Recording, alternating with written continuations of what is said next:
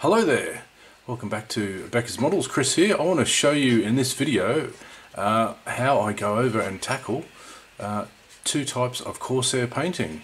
And this is a finished paint mule, the Academy Corsair that was used for this process. So what I'm going to do in this video, and it will, might be a long one, so I apologise up front.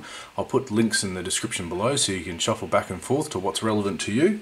Uh, I'm going to go over all the paint mixes and choices I've made along here and why I've gone for these and explain some reasons why some of the kit uh, references and the kit uh, recommendations may not be correct if you're going for even just a brand new factory finish sort of look.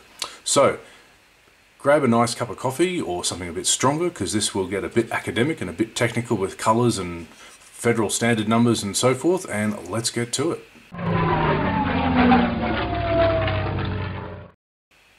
I've decided for my double Corsair build, the Tamiya kits, that I want to do uh, basically a generic or a stereotypical uh, kit, not a specific aircraft like Tojo eats SH-1T or Viva or one of the, the very varied, uh, varied 1A Corsairs. I want to do this because I want to practice elements of all of the, the weathering and painting techniques uh, across uh, the Corsairs. I mean, you know, they're extremely faded and used in the South Pacific. So that means we need to talk about historical paint. So it's, it's helpful to understand both schemes and I'll have to go over each carefully. The first scheme, so we're talking pre-1942, I think that's the benchmark, uh, which two tones. It was just the upper blue and lower grey. It was actually called M485, which was used on, the, on almost all the birdcage Corsairs, and that had the blue-grey ANA 603 at the top, and the lower was a light grey. Now mid-war, uh, post 1942, they switched to three-tone or tritone, and that had a similar sort of um, middle intermediate blue, but they added a non-specular matte and a glossy sea blue, a much darker one on top, an intermediate blue in the middle, and then the lower was actually a cooler insignia white.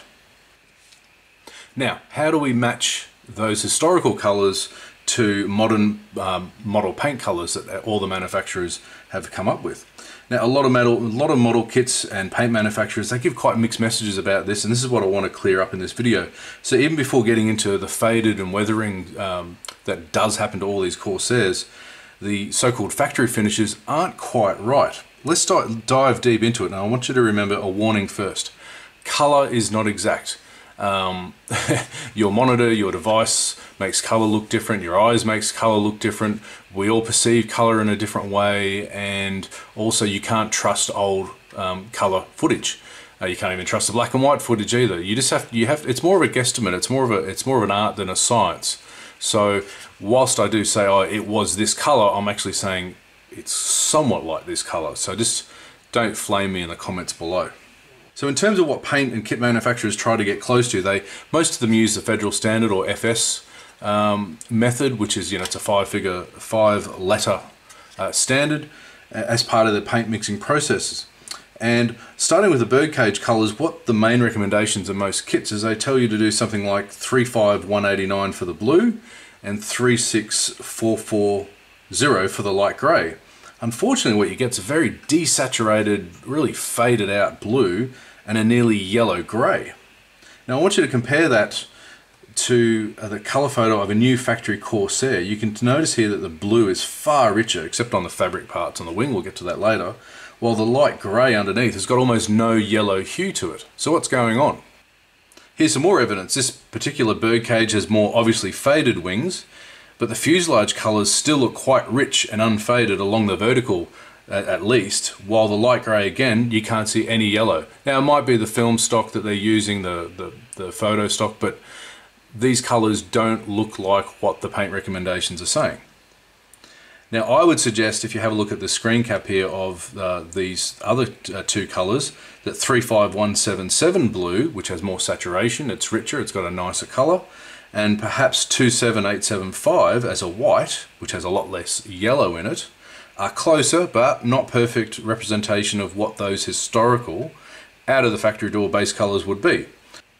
When it comes to those tritone mid-war colours, the, the callouts suggest uh, 17875 or ANA 601, that's the Army Navy Aeronautical Scheme, 601 insignia white, the 35164 for the blue, intermediate blue, 608, and 35052 for the sea blue, the 607. Now I want you to compare that color swatch to some almost brand new clean finishes of tritone on these beautiful pictures of Helldivers and Hellcats. I couldn't find a clean Corsair uh, color photo. I've got a couple of black and white ones, but we've got to, got to compare like for like here. Now the Insignia white for mine has, has, you know, when you compare it to these, it's got a little bit too much ivory, but it's close. The 608 intermediate blue is supposedly, you know, this 35164, but again, that's way too grey in value, and then the colours are much more vibrant. While the sea blue is actually fairly close, uh, the 35042, possibly a bit richer, but they're almost on the money with that one. Now showing you the, uh, the colours I think are closer, I would suggest that 35045 is a little bit richer. You could swap it with the 042, doesn't really matter. Um, for the sea blue, and we'll, I'll get to that in a minute. The 35177 makes more sense for that intermediate blue. It's a much brighter colour. Uh, it's not as desaturated. And then using 37925, which is a little bit more white, not as cool, um, for the Insignia white. So how do we paint these basic colours, the base colours?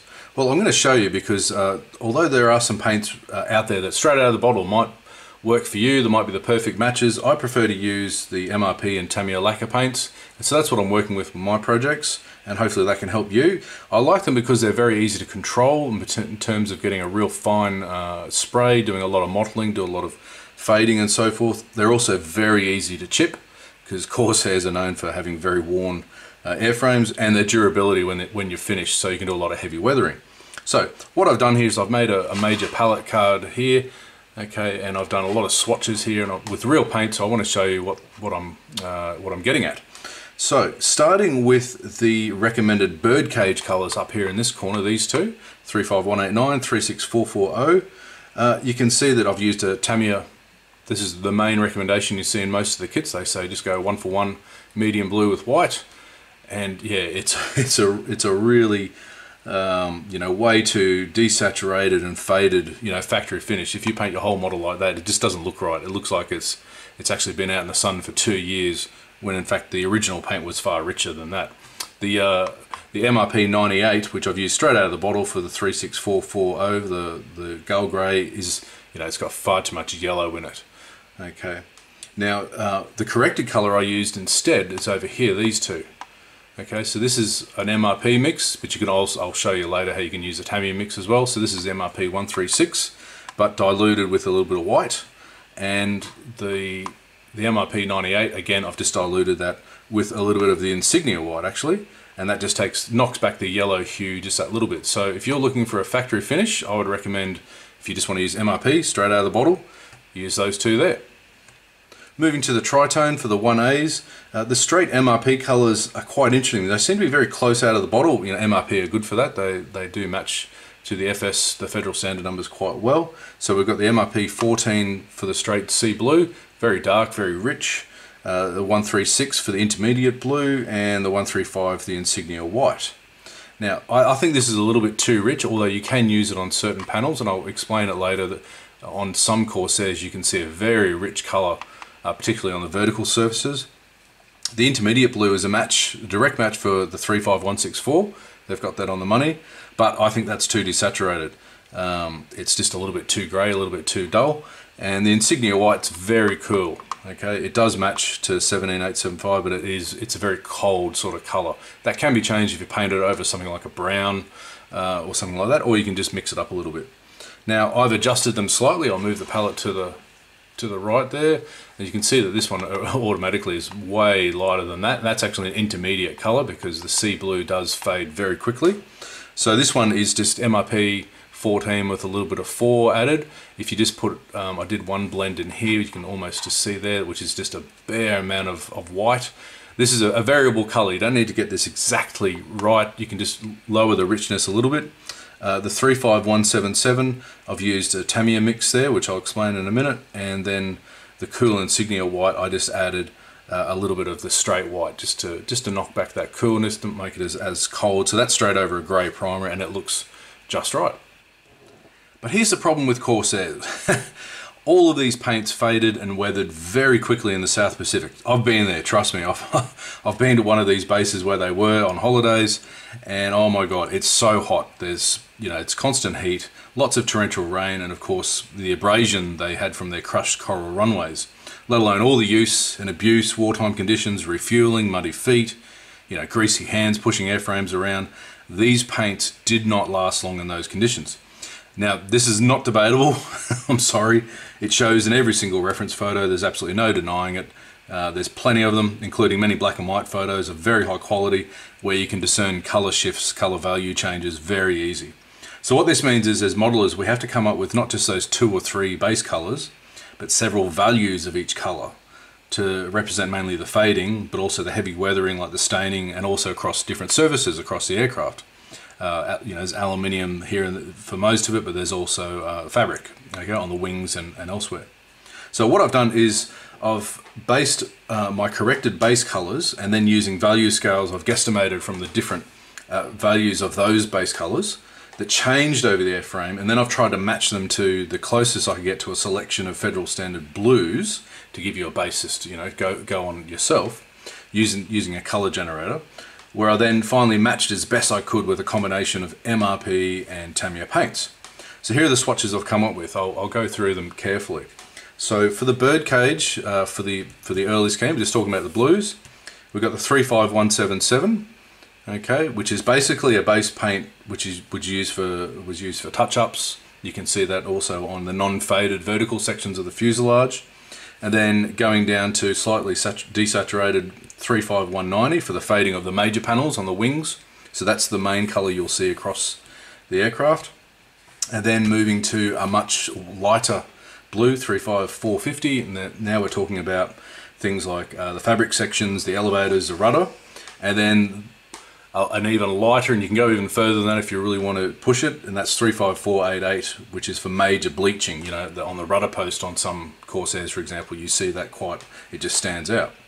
Now moving across to the 1A, to the tritone, again, as I said, you've got the, you can switch in between the 35042, and there's a little intermediate in there for the 045. Um, and sorry, on the, on the right here, the 045, I don't know if you can see the number on that, it's quite dark. Okay, so these are the sea blue base coats, the gloss and matte uh, you can use for the, the touch-ups. I do touch-ups under the wing. It really stark, it really stands out. The lower fuselage, and also blend and mottling in the 35042, uh, sorry, the 045, for a majority of the faded areas, you'll see like the inner wings, the flaps, the front of the fuselage, the gun panels, and so forth. And then I would move back across to the 35177, borrow that one, uh, and a variation of the 35109. You can tell that that's a, a quite a different color change uh, for the faded intermediate blue. So like the cowl, the front of the cowl, the rear fuselage, the ailerons, and some of the wing panels have this sort of value change. And finally use the 35190 uh, for the most faded and bleached areas like the fabric sections on the wings, the elevators and the rudder. For the bird cage, for this side of, of the paint mule, I'm using a blend of flat blue, uh, ocean grey and white. Okay, I'll put some ratios up on the screen uh, to explain how I've got those, those different values. For the 35177, uh, I've used a combination of a, a 131 combo. For the 35190, it's a 153, so we're really dialing back the, the flat blue. And then I sometimes would add a little bit of the XF23, the light blue, because that desaturates it and gives a little bit of a green hue. Okay, and then for the 35450, uh, now we're, we're moving to almost to the white, the bleached, and then the 35488, um, uh, and then we're swapping, sorry, I'll say that again, we're swapping out the 82 and we're going straight to the light blue, okay, for those last two colors. I'll put them all up on the screen or on the thing below. Now for the tritone, for the 1A, I'm using these three Tamiya colors. We've got the XF17, the sea blue, the XF8 flat blue, and XF2 flat white. For the 35045, it's a 532 mix. For the 042, I just do a straight uh, 17 and 8 together. The 35190, we replace the, uh, the XF17 because we get rid of a lot of the sea blue and we put in the 82 so that's the 8, 82 and 2, a 153 mix And then for the most bleached areas, the, the 35109, uh, I've now gone to, I've gone back to the 17 and the 8 and the 2 and it's a 2-3-4 mix. So you can see on the bird cage on the on the fabric raised sections here I've used the the, the lightest colours there, the 3548. For the flaps and ailerons I've used the 450 okay for the well, for the aileron actually and then for the uh, for the flaps. And for most of this area here I've used 35190 uh, but I have mottled in. You might be able to see that. I have changed up some of the panels by just mixing in a few a few variants of this as well okay? Now when we come to the fuselage side as I explained before I've used the main base color the 35177 but as you can see along here and uh, up towards the cowl. I've used a bit of the 35190 okay just to change it up just to make it I'll actually I'll go further on the uh, on the Tamiya one. And then on the tail you can see I've used the lightest 488 for the rudder. In fact I can go even more. And then the second lightest for the post.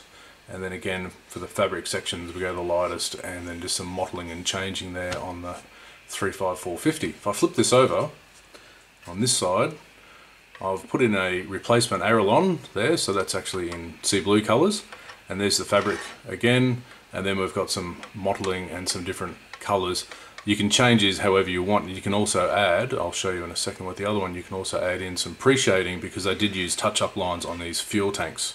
Okay they sealed them and then they touched them up using sea blue. So here's the underside insignia white uh, sorry light gull grey whereas on the flaps I've used my corrector so that's the actual recommended color you can see how yellow and ivory that is whereas I've used my slightly cooler one here on the flaps, so that's what I, one I would recommend across. So talking for the tritones, we've got a lot more going on here and it does get quite complicated. I'll stick with the wing and you can see I've used the 35190 on the fabric sections and a little bit of mottling here on these leading edge sections where I've used the 109, this one here, on these main panels and a little bit of the 045 but it's actually a mix of those two you have to change it up because the reference photos show, it's hard to tell also because of the angle of the gull wing, where the actual value change uh, happens. So on some of the flaps, sometimes darker, sometimes these inner panels, sometimes darker, sometimes these machine gun access panels are lighter. So yeah, you can use a bit of license there to do that. The uh, ailerons, I think I use the 109, and I'll switch to the fuselage large and you can see how we really start to get a lot going on here. So this is the fuel leak that's present on most of the uh, 1As. I will actually add some very light desert yellow to go in the middle there to get that proper stain. But that is basically just 190, 35190. I've used, just sprayed that there over the sea blue and with different panels done in different values of the sea blue across there. And there's the intermediate blue, just the base color there. You don't get a lot of fading until you get back here. On the front cowl, however, I have changed changed it up so you've got different variations of the C, two sea blues there across and then we go to the rudder. We've got the most starkest bleached out for the rudder post just like on the bird cage. Same with the um, uh, with the elevator and back there. I'll just flip this over and break it. And you can see this what looks like the pre-shading I was telling about before. That's the touch-ups. So that's the sea blue the 042 the 045 one of these two doesn't really matter. Okay over the 35 190 because they, they sealed up these wing leading edge tanks. And again, I've changed up the colors on the flaps and the ailerons. There's the insignia white, it's quite cold. Okay, I would recommend the, um, I haven't done the corrected one on this one, so I'd recommend knocking that back or of course doing it over a brown paint. So there we have it. I hope I haven't confused the hell out of you and you haven't you, you know, you're scratching your head about all these bloody numbers you're putting up, Chris, but you know, this is the way I've gone about this because I'm doing two effectively separate models, so there's two separate paint schemes to work out, and because the Corsairs have that unique, well it's not that unique, a lot of other uh, aircraft of that time had extreme fading and weathering effects on them. I really wanted to do a deep dive and that's what I've done. Uh, I've hoped I've helped you there in choosing different colors, in considering not using the recommendations uh, and to come out with a you know fairly stark or desaturated looking model. I mean some of the bird cages were uh, you know in the normal blue they they were really really faded to hell uh, but yeah it's up to you what you want to do. This is what I want to do and I've really enjoyed going through this and this is something I like to do going forward on all my models is to really knuckle down, plan out all the colors, get it right so I'm not doing this on the fly. So in my next video, which will hopefully be the last one, I'm going to tackle the real things, both of them side by side. And I'm going to go through some more, I was going to include them in this video, it got far too long. Uh, some some weathering effects. So how to do the fuel stain leaks, the chipping, in fact I have to do double laying chip, double layer chipping with chipping with the chromate uh, paint, and yeah, just a cavalcade of other weathering effects. And um, hopefully it'll come out in the wash, as they say. So thanks again for watching. Uh, you know what to do: like, comment, subscribe, blah blah blah. See you next time.